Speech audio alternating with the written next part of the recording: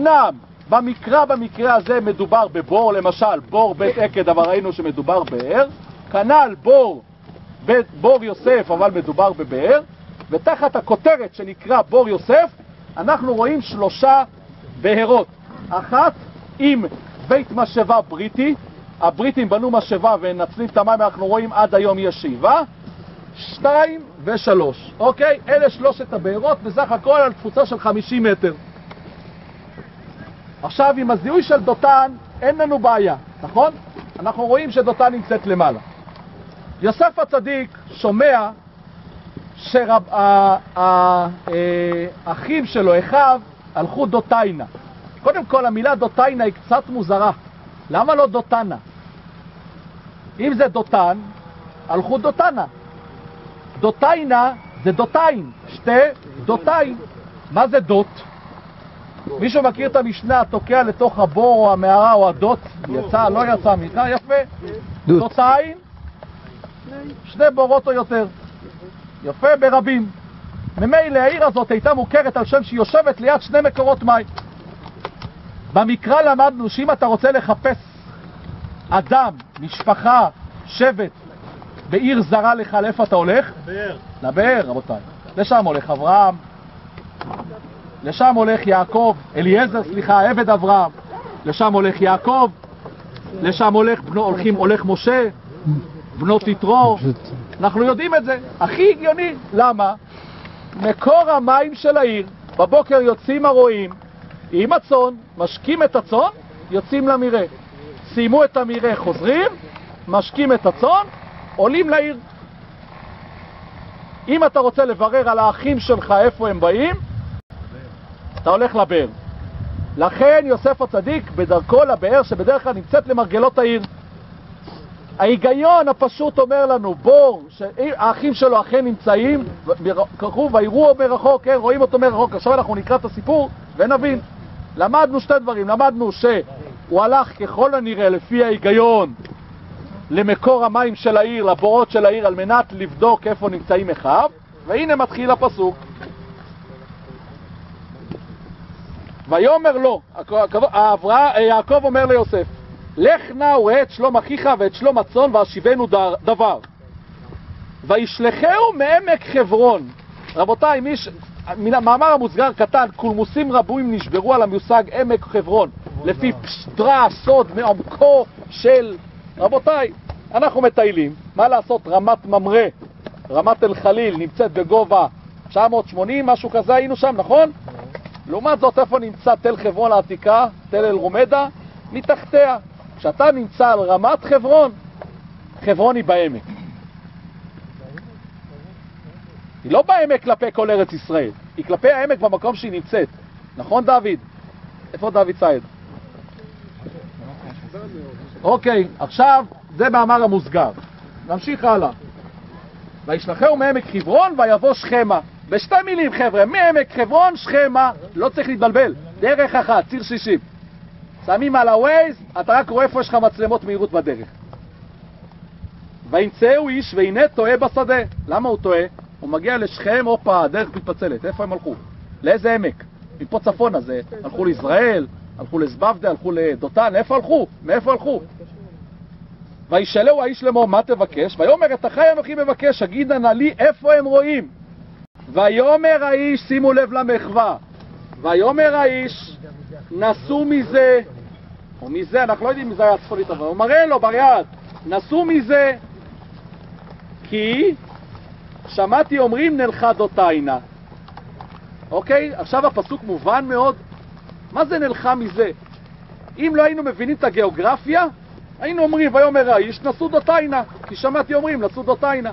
מה זה אומר האיש נסו מזה? מזה הוא מראה לו, מזה, הוא מראה לו מקום, מזה, מראה לו על הדרך.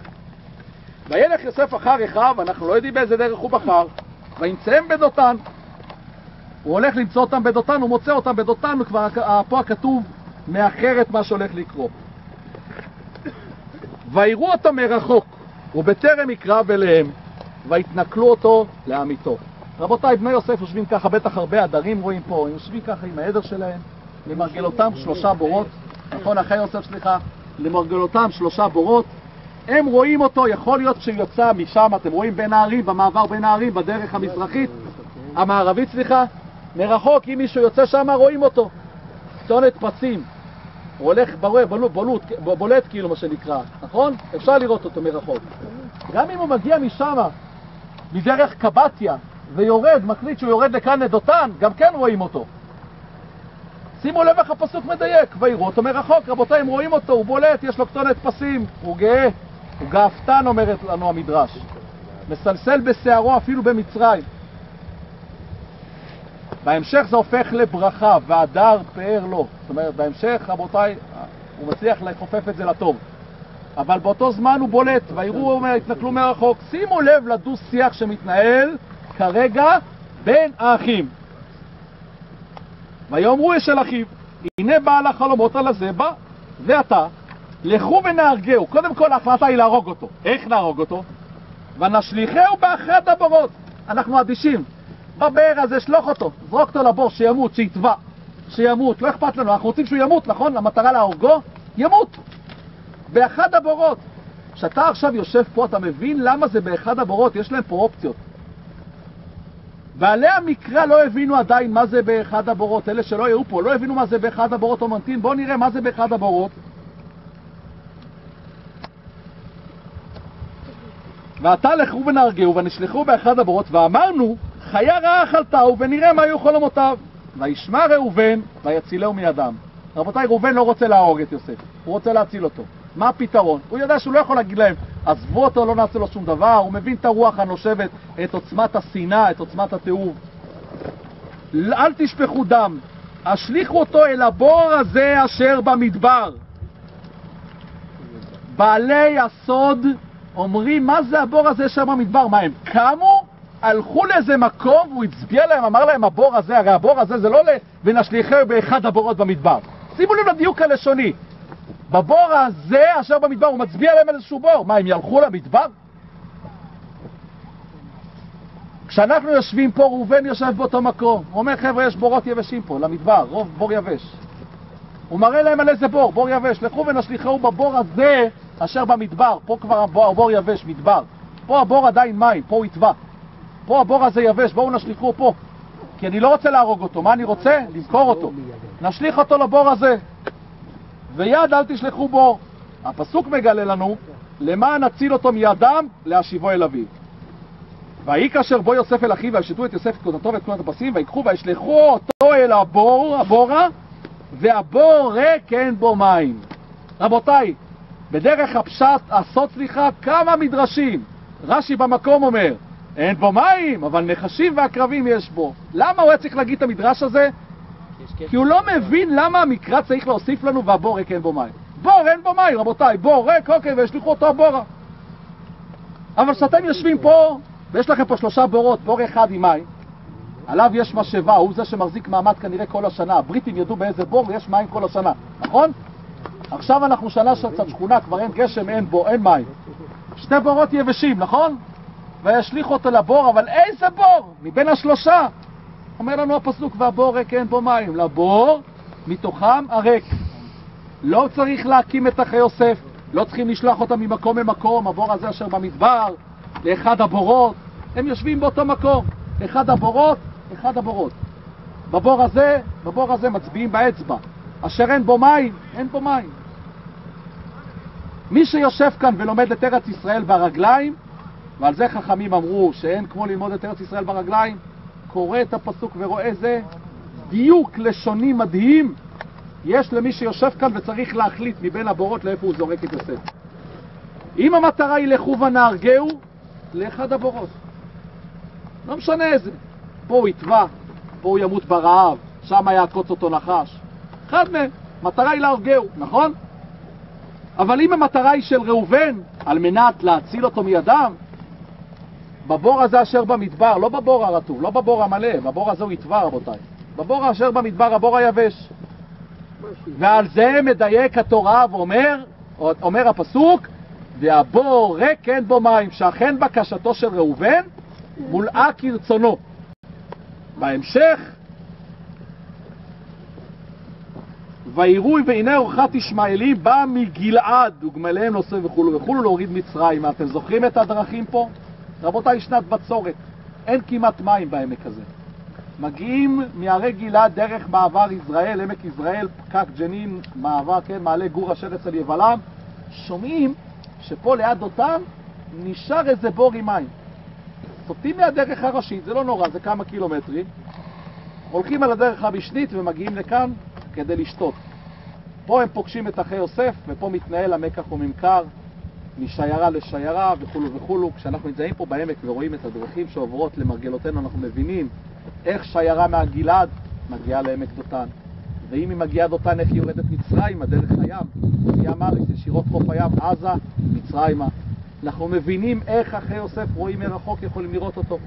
אנחנו מבינים איך הם יכולים להתלבט באותו מקום בו הם יושבים, באיזה בור משליכים אותו. האם סתם בור, לא משנה איזה מהם, או בבור ספציפי. האם כמו שהם רוצים, לא משנה באחד הבורות כי זה לך ונהרגהו, או בבור שרוצה ראובן, בבור אשר במדבר, בור יבש. וכפי שמספר לנו הפסוק, זה מה שהתקיים בסוף, והבור ריק אין בו מים. רבותיי, בור עם מים, עכשיו אין בו כי שואבים, אבל למטה יש לחלוכית, ובור בלי מים. זה בור, שניים. שניים, לא משנה, אחד מהם, זה בור יוסף, אנחנו לא צריכים לראות חריטה כתוב יוסף הצדיק היה כאן מרץ כך וכך. אפשר משהו DNA לראות את השערות שלו? חבר'ה,